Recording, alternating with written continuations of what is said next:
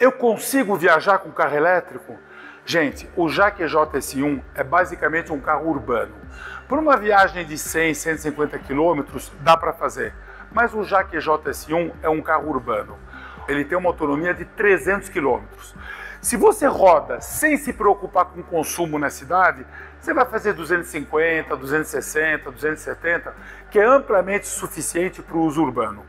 Se você pega estrada e você roda entre 90 e 100 km por hora, você ainda vai fazer 220 a 230 km de autonomia.